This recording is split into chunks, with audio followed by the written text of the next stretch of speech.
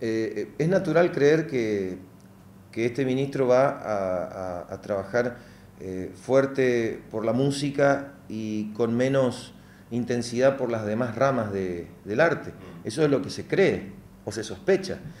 Quería decir de que no es así, de que en realidad puedo entender y podemos, nuestro equipo entiende de que la música es parte, una parte importante de la, del arte y de la expresión cultural de una provincia, pero la cultura es transversal a todo.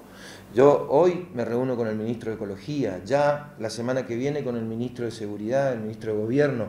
Marcelo Pérez me está esperando para llevar adelante un programa de música, de danza, de letras, de arte plástico, de expresiones artísticas en las cárceles de la provincia.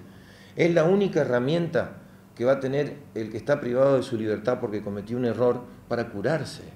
Si no le llevamos arte a esas personas, cuando salgan no van a salir mejores, van a salir peores de lo que entraron. Entonces, eh, con esto no estoy eh, metiéndome en, un terreno que, no me corresponde, que es el manejo y las, y las determinaciones que tiene el servicio penitenciario. Respeto absolutamente todo eso, pero creo, y ellos también creen, porque ya se comunicaron conmigo, de que el arte en las cárceles es fundamental pero también en los comedores. No podemos darle de comer a los chicos solamente un plato de comida, fríamente, sin amor, sin, sin sensibilidad. A ese chico también le tenemos que enseñar a tocar un instrumento, o a bailar, o a, que tome contacto con el arte cuando tiene cuatro años, cinco años. Porque si no, se va a criar, se va a educar, se va a formar pensando de que solamente el Estado le puede dar un plato de comida y el alma también necesita comer. Y ahí estamos nosotros.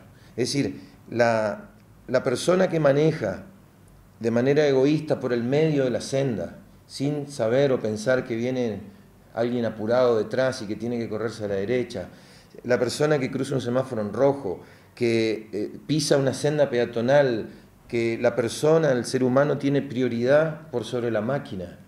Todo eso es cultural. Entonces tenemos que sentarnos con vialidad, con la dirección de tránsito, bueno, ni hablar con las escuelas. Vamos a tener varias líneas de trabajo con Miguel Sedov, el ministro de Educación, con Luis Bogado, el SPEM.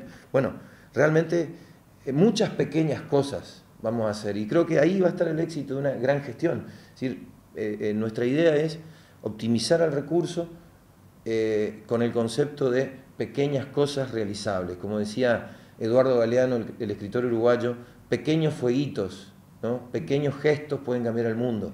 Bueno, vamos a hacer lo que podemos, las pequeñas cosas. ¿no?